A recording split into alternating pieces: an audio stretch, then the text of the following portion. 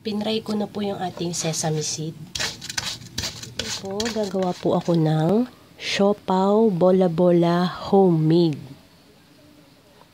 Ang una po natin gagawin ay ang ating bola-bola pork peeling. Ang sangkap po ng aking bola-bola pork peeling ay 1 kilo ground pork 1 tablespoon patis. 1 half tablespoon sesame oil. 1 tablespoon sesame seed. Ang sesame seed po natin, pinray ko na po sa mantika. Then, sinala ko po. Ito na po yon 1 tablespoon sesame seed. 2 teaspoon ground black pepper, 1 teaspoon salt, 1 4 cup cornstarch, then yung para po sa gagamitin natin additional na fillings ng ating bola-bola siopaw. Meron po tayong tatlong salted egg, Then, yung ating dalawang perasong soriso de Bilbao. Mabibili po natin ito sa supermarket ng ating soriso de Bilbao. Ngayon na yan po. Ito na po tayo ng sangkap para sa ating bola-bola filling. Yung soriso natin, tsaka salted egg po natin, isi-set aside po muna natin at gagawin na po natin ang ating bola-bola filling. Una po yung ating ground pork, Then, lalagyan po natin ng patis.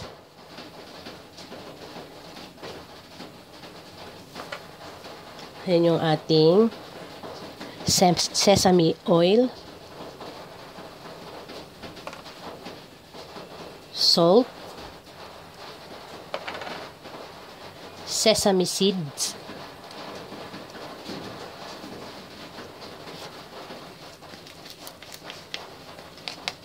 Cornstarch. Then yung ating black ground pepper. Mix lang po natin together. Haluin natin maigi. Hang po. Gagawin lang po natin ito hanggang maubos po natin yung ating peeling na ma mabilog lahat.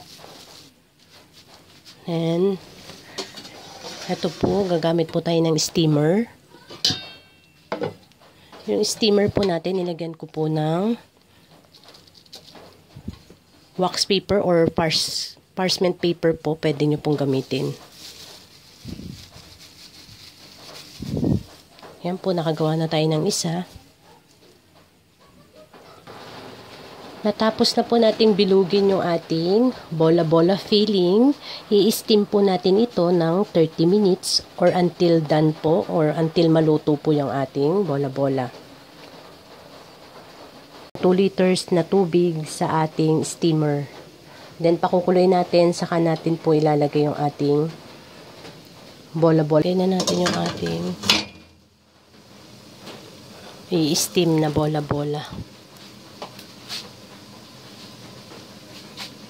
Magantay lang po tayo ng 30 minutes. Habang hinaantay po nating maluto ang ating bola-bola filling, mag-start na po tayong gumawa ng ating dough na para sa ating siopaw. After po ng 30 minutes, luto na po yung ating bola-bola filling. Iko-cool down lang po natin yung ating bola-bola filling. Then, i-drain natin yung excess oil na nasa steamer. Then, palalamigin po natin. Ito po ng ating siopaw.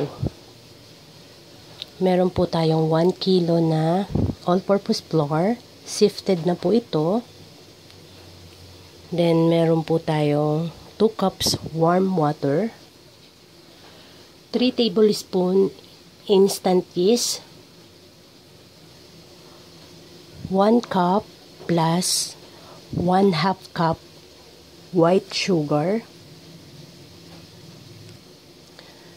3 teaspoon baking powder, 1 teaspoon salt, 4 tablespoon shortening. Ang shortening po natin, ilalagay po natin while kneading.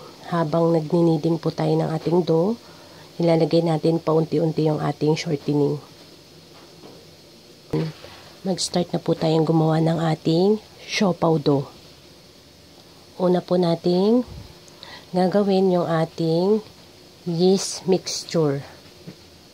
Warm water, then yung ating sugar,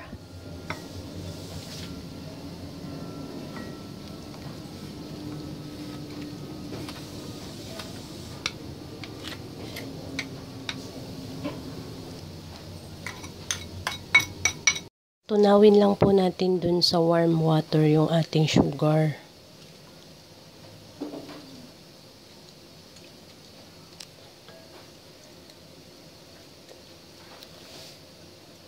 Kapag natunaw na po natin yung sugar dun sa ating warm water, yung ating yeast, ilalagay po natin.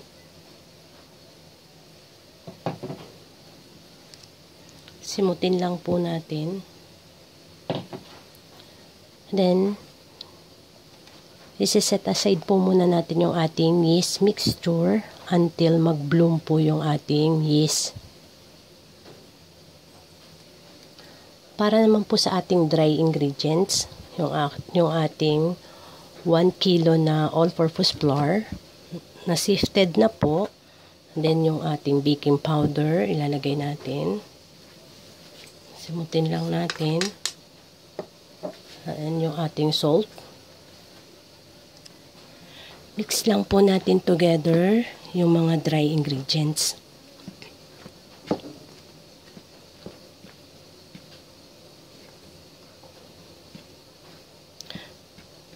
Then, pag na-mix na po natin,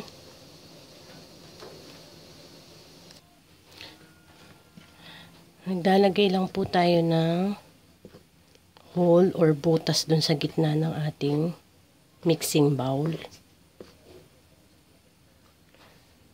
Then, yung sinet aside natin kanina, ito po yung ating yeast mixture. Tingnan nyo po, oh, nag-bloom na po yung ating yeast. Pupus lang natin sa gitna ng ating dry ingredients. Simutin lang natin yung tabi.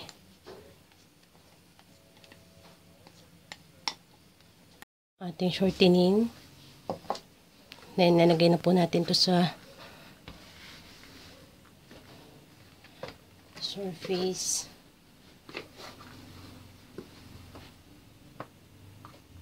Simutin lang natin.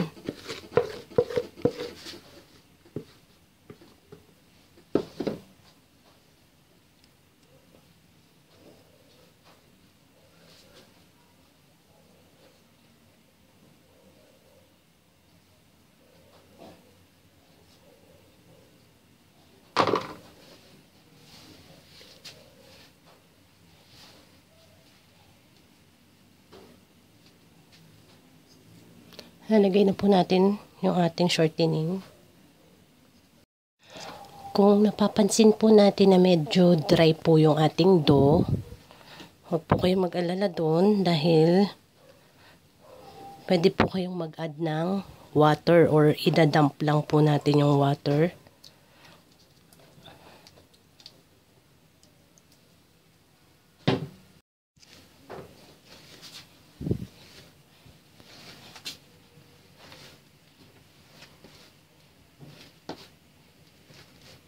30 minutes nating niniding. Ito na po, smooth na po yung ating dough.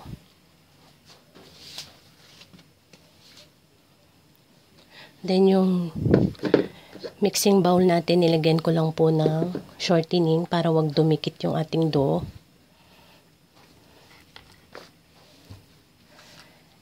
Ire-rest lang po natin ito ng 30 minutes until mag double size po yung ating dough.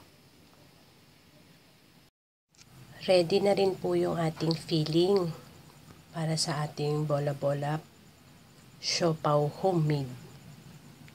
Ang ating salted egg, suriso, tsaka yung ating bola-bola filling.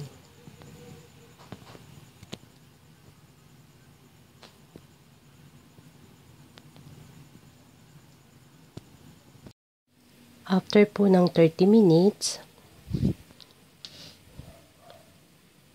nag-double size na po yung do ng siopaw natin. Then, ipa-punch down lang po natin yung ating dough.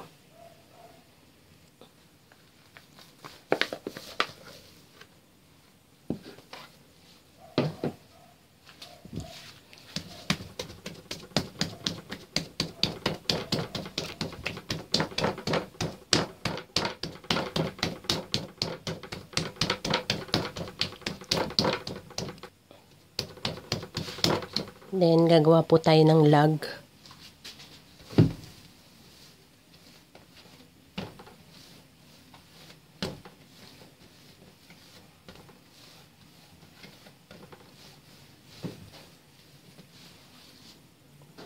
Iin lang natin. Para hindi tayo mahirapan.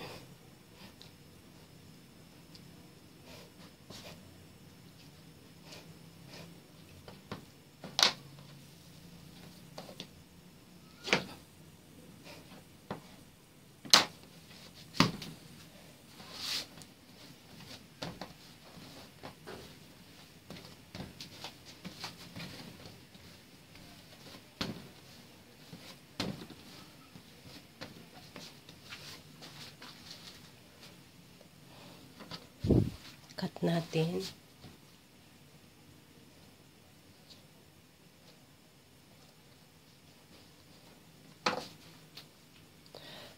Para mas pantay-pantay po yung size ng siopaw nyo na gagawin, pwede nyo pong timbangin isa-isa para pare-pareho po yung size na magawa nyo na siopaw.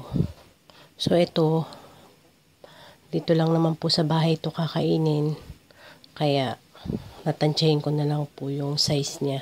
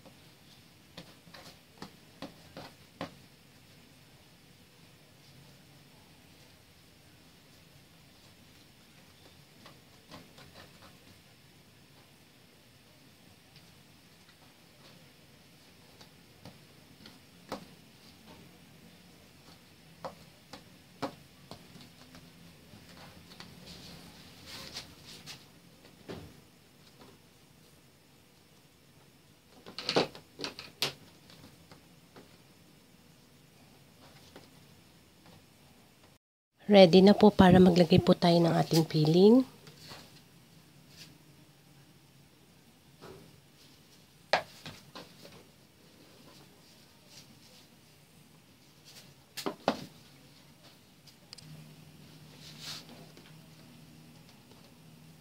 Gamit tayo ng rolling pin.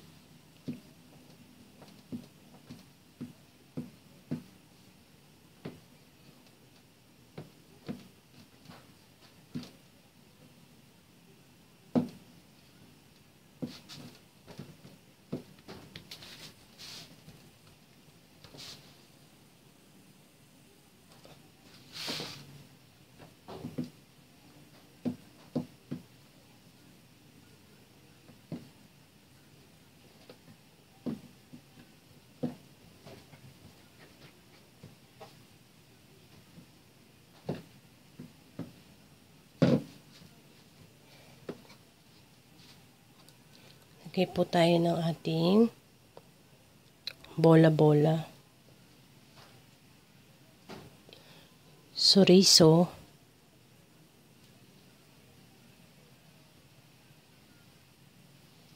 Then yung ating salted egg. Siguraduhin po nating malinis ang ating mga kamay pag ginagawa po natin ito.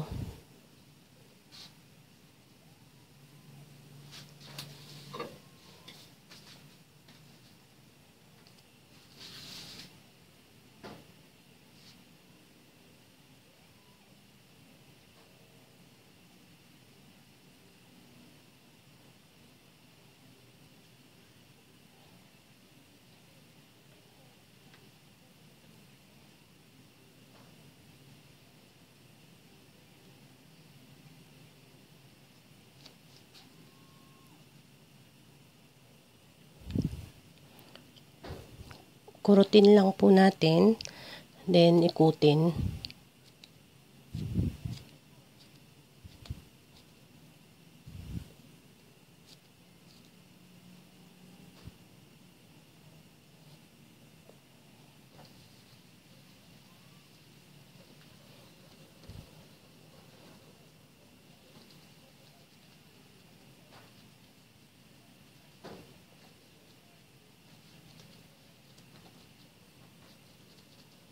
medyo i-press-press lang po natin ng konti.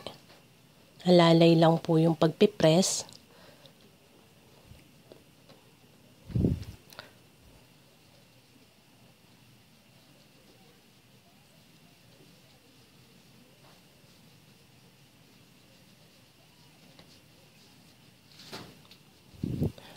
Para medyo siksik po yung ating magagawang siopaw. Meron po akong parchment paper. Ito po yung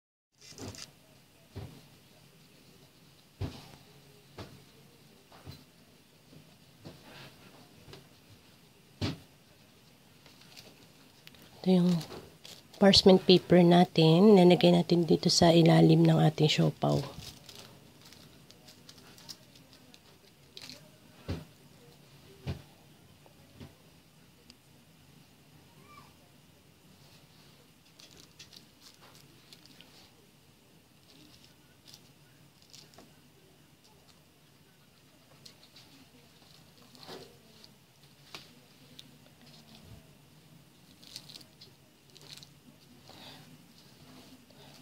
Dalawa na po yung nagagawa natin.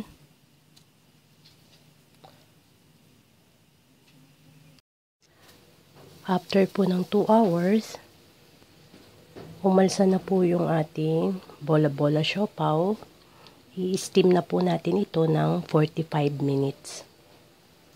Until maluto po yung ating bola-bola siopaw. Nagpakulo na po ako ng ating tubig sa steamer. Then, ilalagay na po natin yung ating siopaw bola-bola. Yan, kumulo na po yung tubig natin.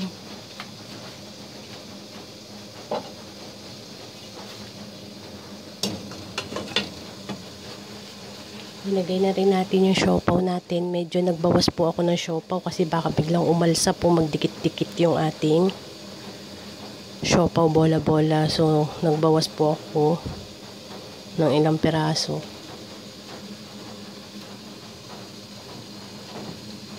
Yan na yan po. Hintayin natin hong maluto ng 45 minutes.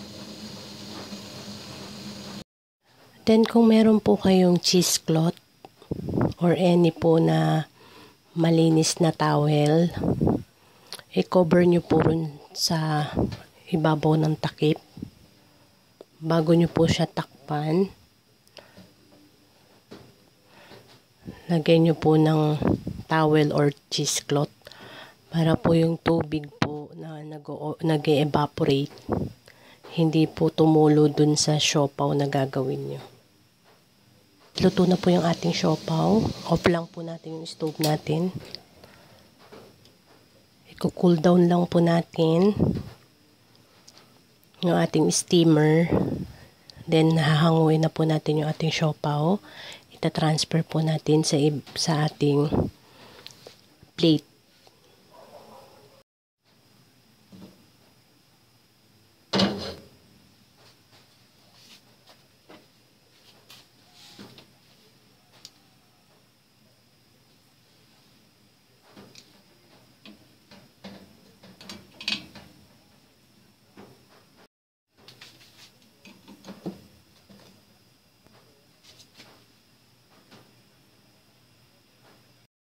Ready to serve na po ang ating siopaw bola-bola homemade.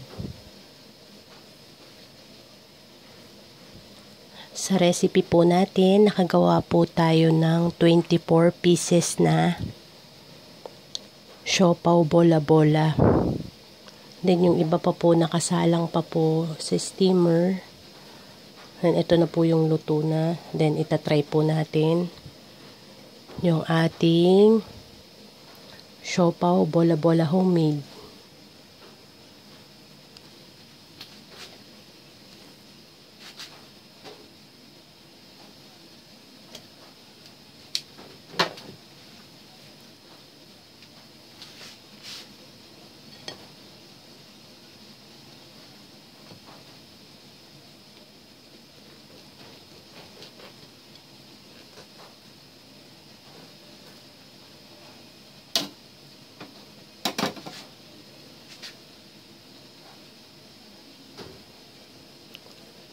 Ayun po yung ating bola-bola, salted egg, tsaka yung ating soriso.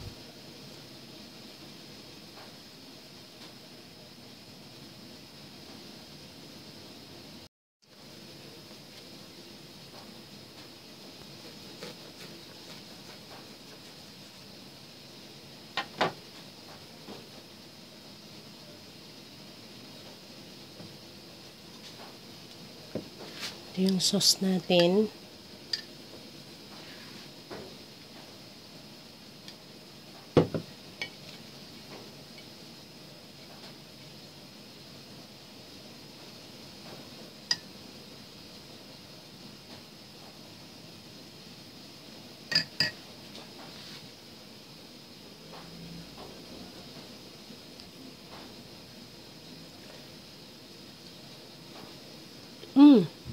ครับ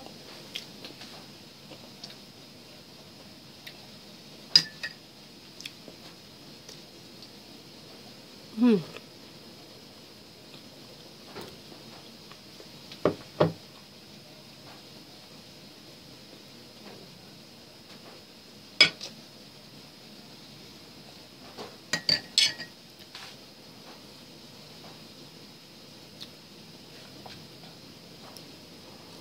Salamat po sa panonood. Salamat po.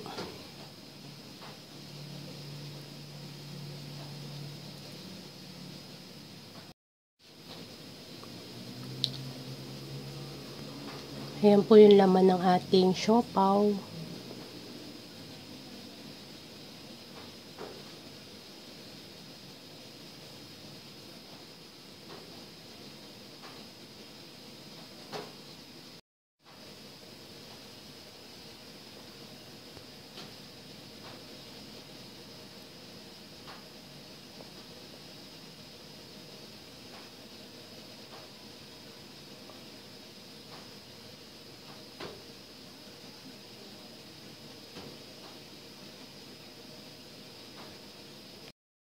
Siopaw bola-bola homemade.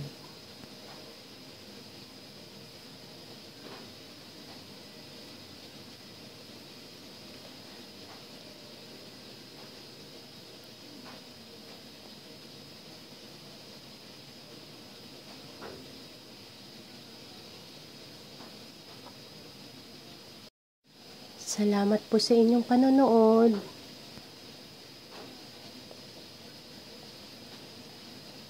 Maraming salamat po.